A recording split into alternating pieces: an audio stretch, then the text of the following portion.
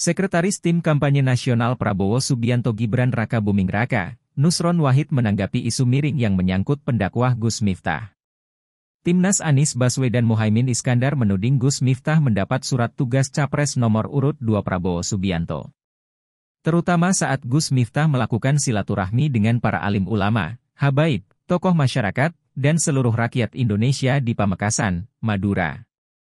Dalam video yang beredar, Tampak Gus Miftah membagi-bagikan uang, sehingga Timnas Amin menduga ada praktik money politics di sana. Lantas Nusron meminta Timnas Amin untuk menunjukkan surat tugas tersebut, seperti yang dituduhkan pada Gus Miftah.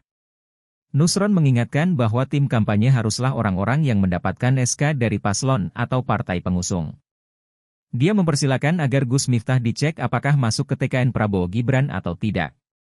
Apalagi tujuan Gus Miftah bagi-bagi uang bertujuan untuk sedekah dari pengusaha tembakau asal Madura yaitu Haji Her.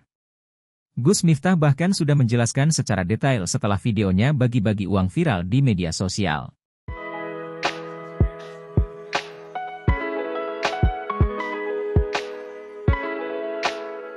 Download Tribun X sekarang, menghadirkan lokal menjadi Indonesia.